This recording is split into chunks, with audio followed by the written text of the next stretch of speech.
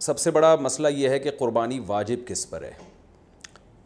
क़ुरबानी वाजिब किस पर है? लमसम आवाम की सहूलत के लिए एक निसाब बयान करता हूँ जो उलमा बताते हैं। साढ़े बावन तोला चांदी, तकरीबन पैंतालीस से पचास हज़ार या पचपन हज़ार, ये आजकल रेट चल रहे हैं। आप देख लीजिएगा नेट पर। तो इतनी मालियत का किसी के पास सोना हो या चांदी हो या तिजारती माल हो, तिजारती माल कहते हैं वो सामान जो बेचने के लिए आपने ख़रीदा है। या कैश रकम हो या ये कि ज़रूरत से ज़ायद सामान, ज़रूरत से ज़ायद सामान कहते हैं, वो सामान जो पूरे साल भी इस्तेमाल ना होता हो।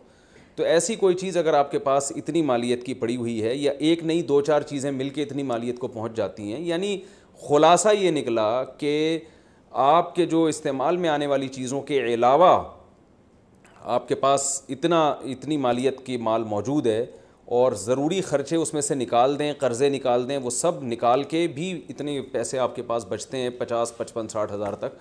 तो फिर आप पर कुर्बानी वाजिब है। ये बहुत मुख्तसर बता रहा हूँ क्योंकि अगर मैं इसकी निसाब की डिटेल में गया तो पूरा क्लिप इसी में निकल जाएगा। तो लमसम एक बता रहा हूँ आपको कि इतना अमाउंट किसी के पास हो तो उस पर कुर्बानी वाजिब है।